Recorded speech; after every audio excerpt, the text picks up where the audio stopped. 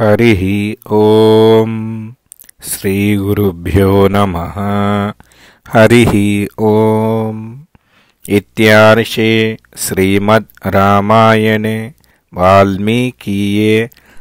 काव्ये बालकांडे एकोन एकोनषष्टितमः सर्गः। ओ श्रीराम।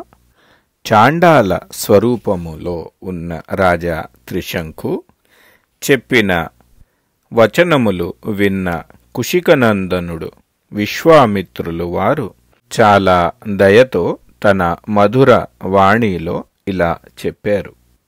వత్స త్రిశంకు ఇక్ష్వాకుల నందన నీకు స్వాగతము. నాకు తెలుసు నీవు పరమ ధర్మాత్మవి. ఓ నృప నువ్వు భయపడద్దు నేను నీకు శరణము ఇస్తున్నాను. ఓ రాజన్ నీ యజ్ఞములో నీకు సహాయము చేసి సమస్త పుణ్యకర్మములు చేసిన మహర్షులని ఆమంత్రణ ఇస్తున్నాను. నీవు ఆనందముగా ఈ యజ్ఞము చేయించుకో. విశ్వామిత్రులు వారు రాజా త్రిశంఖుతో నీవు గురుశాపముతో పొందిన ఈ నవీన రూపముతో దీనితోనే నీవు సదేహముగా స్వర్గలోకానికి వెళతావు.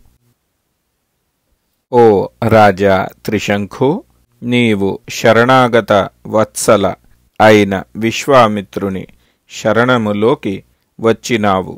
నాకు పూర్తి నమ్మకము ఉన్నది. నీవు స్వర్గలోకాన్ని సాధిస్తావు అని.